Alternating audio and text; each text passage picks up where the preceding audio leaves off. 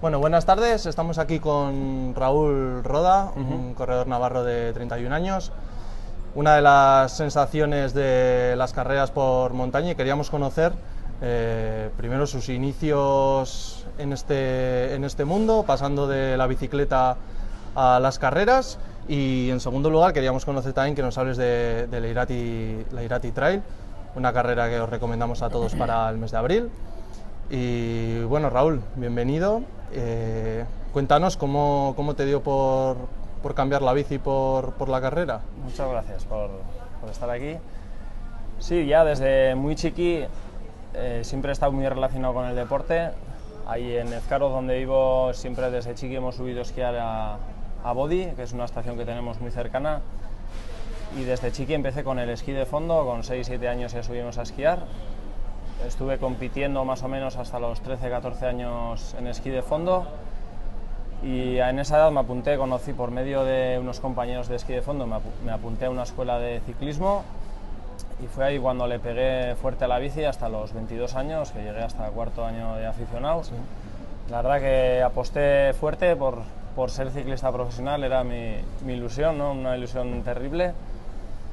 Y bueno, al final unos problemas de salud, pues me hicieron colgar definitivamente la bici a los 22. Estuve dos años desvinculado totalmente del deporte, acabé un poquito cansado de la bici, de tanto empeño y no me salieron las cosas. Y a raíz de que salió el triatlón blanco de Isaba, eh, dije, pues mira, siendo aquí al lado de casa, esquiar, andar en bici yo creo que me acordaré, tampoco llevo tanto tiempo sin, sin andar en bici y me pongo a correr a ver qué tal se me da. Y ahí fue un poco la vuelta, ¿no? De volver al deporte con el trialón Banco de Isaba, empecé a hacer más trialones, un poco también el dualón. Y estando en ese pleno proceso de trialón, pues salió la idea de, de preparar en Irati la primera Irati Trail en el año 2013, entre un grupo de amigos ahí de la zona. Y esa fue mi, mi primera carrera de montaña, que tengo un gran recuerdo. Y ¿Y, qué, sentiste, qué sentiste en aquella, en aquella primera ocasión? ¿Qué sensaciones tuviste? ¿Descubriste algo, algo nuevo? La verdad que no había corrido muchos días por el monte tampoco. Y bueno, la preparé, entrené un mes, mes y medio antes, empecé a correr por el monte. Y sobre todo lo que me, más me sorprendió de esa carrera fue pues cómo bajaba, ¿no? Tampoco lo había entrenado y me acuerdo de el que ganó Ángel Arrita, que era un gran bajador y iba bajando con él y dijo, este tío no me suelta, no me suelta y tengo ese recuerdo de, pues igual bajo bien. Y guardo esa sensación de, de la primera de bajar bien y luego sobre todo de disfrutar, de, de, no sufrir tanto como en el asfalto, es mucho más divertido el monte. Yo al ser un corredor más bien corpulento, no soy muy sí. rápido en, en asfalto y, sí. y, creo que en monte, pues según mis cualidades, me desenvuelvo mejor. De todas formas, hemos visto en ti unas participaciones intermitentes en, en carreras. Uh -huh. ¿Por qué ha sido y, y, y, qué piensas hacer a partir de, a partir de ahora? Pues corrí, dos, corrí las dos primeras ediciones de Iratitral, también corrí la Camil esos dos años. Ahí empecé un poquito la andadura con las carreras de monte y justo ahí, pues bueno, por motivos laborales, estuve dos años viajando mucho al extranjero con el trabajo y, y, estar fuera trabajando muchas horas y el deporte pues no están muy bien relacionados. Y he estado dos años prácticamente sin, sin entrenar y sin, y sin, competir. Y este año pues he podido cambiar de trabajo, estoy aquí en Iruña en trabajo estable en el que estoy muy contento y otra vez en marzo empecé a entrenar poco a poco y, y, bueno, al principio sí que se hizo duro, volver a... siempre te quedas con las mejores sensaciones y una vez pues empiezas y ves que no arrancas, pero bueno, ya poco a poco fuimos cogiendo punto. Y ya para, para el mes de julio, agosto, pues ya noté buenas sensaciones y, y, en septiembre, octubre y noviembre que he hecho alguna carrera de monte, pues creo que las, mis mejores sensaciones. Sí, porque por ejemplo en la Leire Trail vimos que realmente andabas un puntito mejor que, que, el resto, ¿no? Tú también tuviste esa sensación de terminar el año sabiendo que seguramente en este 2017 tendrías que, que apostar. Sí, la verdad la preparé, pues para mí el Leire Trail fue una, una, carrera un tanto especial, ¿no? no fue como cualquier otra, era un, un homenaje hacia Juan, que fue compañero mío de trabajo durante tres años, al cual le tengo mucho cariño. Y la preparé con ganas y vi todo lo que se estaba montando alrededor de la, de la carrera, que la verdad que es, que es una pasada como la han organizado y el carrerón que han montado en el primer año. Y bueno, pues hasta donde llegase, ¿no? A ver qué, qué nivel sacaba. Me estaba notando, notando bien, las sensaciones eran buenas, pero pues igual el resultado sí que me pilló un poco desprevenido. Había, creo que estaba prácticamente todo el, lo mejor de Navarra y algo del extranjero y, y, la verdad que me encontré muy bien, desde el inicio muy buenas sensaciones y contento por ganar, por, por poder participar en esa carrera y, y, sobre todo pues por podérsela dedicar a Juan, la verdad que me hizo muchísima ilusión. Cuéntanos también porque también te han llamado para formar parte de la selección navarra de, de trail de la que todavía no habías formado parte eh, además de esta inclusión en la selección, eh, ¿cómo te vas a plantear este, este año? ¿Qué, qué, vas a hacer? ¿Vas a hacer algún cambio? Sí, en este pasado año 2016 surgió lo que es la selección de Navarra de carreras por montaña, que han competido en varias, varias carreras, han estado, ha surgido, es una cosa bonita, que en su día cuando la vi dije, joder, pues me gustaría estar ahí, ¿no? Y, la verdad que este año, pues con tiempo, ya se han puesto en contacto y para decirme que cuentan conmigo para el Campeonato de España, de este año que es en junio en, en Zumaya, en la Zumaya Flis, una maratón. Intentaremos prepararla pues, lo mejor posible. Será uno de los objetivos, pero voy a hacer como dos bloques. Sea, terminar también al final en Leire, ¿no? la temporada con esas sensaciones, pues me ha hecho prepararlo con un poquito más de mimo, con más ganas este 2017. Ya estoy entrenando un poco para ello, ahora sí que en invierno me voy a centrar en las carreras de esquí de fondo hasta mitad de marzo más o menos, en hacer esquí, disfrutar de la nieve todo lo que pueda y luego ya hay tiempo para correr.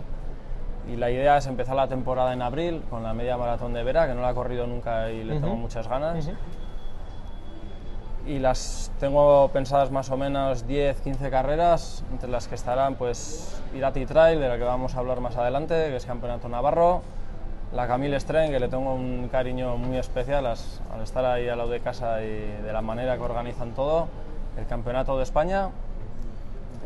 Haré un parón en julio y a partir de ahí voy a probar a, la segunda parte de la temporada preparar unas, unas carreras un poquito más largas, ya de maratón, dos maratones y la Nafarroa Tren de 67 kilómetros. Una distancia que no he probado nunca. Esta primera parte de la temporada me va a centrar más en medias maratones hasta 42 y la segunda parte de la temporada sí que me centraré en alargar un poco la distancia y a ver cómo responde el cuerpo a esas distancias y con ganas y con mucha ilusión. Interesante. Háblanos también un poco de la Irati Trail, una, una carrera que tú conoces bien, ¿Cómo, ¿cómo, es? ¿Qué modificaciones vais a implementar este año? Sí, pues desde el inicio hay entre cinco amigos, cinco o seis amigos por así decirlo, pues sacamos la primera Irati Trail allá por el año 2013. Sin darnos cuenta estamos ya en, el, en la quinta edición de la Irati, y la verdad que para este año pues estamos trabajando con muchas ganas, mucha ilusión de que salga la cosa adelante, de mejorar en cosas que hemos hecho mal en años anteriores. Tenemos principalmente pues dos novedades para este año. La primera que va a ser el Campeonato Navarro de carreras por montaña, lo cual quiere decir que pues todo el nivel de Navarra estará concentrado en esa carrera. y la segunda novedad pues es unos cambios Cambios en el recorrido. Hemos intentado, va a ser una carrera un poquito más larga, van a ser de 22 kilómetros y medio que teníamos hasta ahora a 23 kilómetros y medio y sobre todo el desnivel. De 1000 kilómetros que teníamos en ediciones anteriores, vamos a pasar a casi 1400 kilómetros. Lo que hemos intentado ha sido, para quien la conoce, quitar la totalidad de la pista de lo que teníamos en años anteriores, algo que bueno, pues hemos escuchado al corredor y, parecía que era algo que no acaba de encajar la pista. Y de los 23 kilómetros y medio que tenemos, no van a llegar a 500 metros la pista. Todo lo demás va a ser senda, van a ser senderos, partes son senderos ya conocidos para el turista, que cuando va a Irati los puede encontrar como senderos locales y están marcados y balizados y otros senderos que se utilizaban desde hace años para la saca de madera y, y, para andar y que los vamos a restaurar, vamos a limpiarlos y va a quedar un recorrido, yo creo que va a quedar un recorrido muy bonito. Los corredores van a tener además la oportunidad de correr en una de las maravillas de, Navarra, ¿no? Es un, marco que, que, es incomparable, ¿no? Sí, yo creo que estamos hablando de la estrella, ¿no? De, a nivel turístico de Navarra, la selva Irati es lo que más turismo atrae. Allá donde vas, ¿y dónde vives? Y pues ahí, al lado de la selva Irati, ¿eh? todo el mundo la conoce, pues es una ventaja que tenemos y cualquiera que ha ido a la selva Irati sabe por qué es. El segundo ha ido a Betal más grande de Europa y una estrella y una preciosidad que tenemos ahí al ladito de casa, que a mí personalmente me encanta ir a correr ahí y pues me hace muchísima ilusión organizar una carrera de monte y que también todo lo que disfruto yo lo pueda disfrutar la gente. Y también para recomendarle a la gente de otras ediciones, las sensaciones que se les quedaban a los corredores, cuáles eran, eh, qué es lo que recogisteis de los corredores, lo contentos que se quedaban con esta prueba, por qué es recomendable. Bueno, es una carrera, Irati Trail prácticamente se va a quedar todo sendero, que no vas a tocar casi pista y lo que más le llamó a la gente la atención el año pasado fue lo divertida que es. Eh, Irati tiene mucho barranco, mucha agua en primavera, se cruzan casi 10-12 barrancos a lo largo de toda la carrera.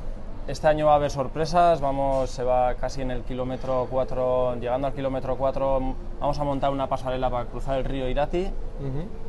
Un poquito más adelante se va a bordear parte del embalse Irabia, también como novedad, que es un, un sendero precioso y se va a pasar, yo creo que es la foto y el sitio estrella de, esta nueva edición, particularmente a mí uno de los chocos, uno de los sitios que más me gusta de Irati, que es el puente que cruza el embalse de Irabia. Se va a pasar por ahí más o menos hacia el kilómetro 7. A partir de ahí hay una nueva subida que no se ha hecho en ediciones anteriores, que es hasta el alto de Zabaleta para bajar posteriormente otra vez a las casas de Irati.